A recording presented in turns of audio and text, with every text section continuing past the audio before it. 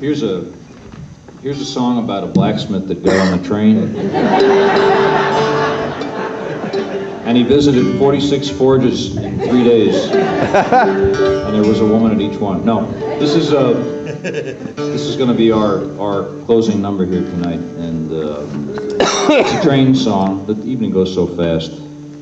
Uh, This is Reuben's Train, and if you're into American music at all, you might have heard of Reuben's Train that ran from England to Spain, but he couldn't get no letter from his home. This train usually makes stops all over the southern U.S. and might go up into the north.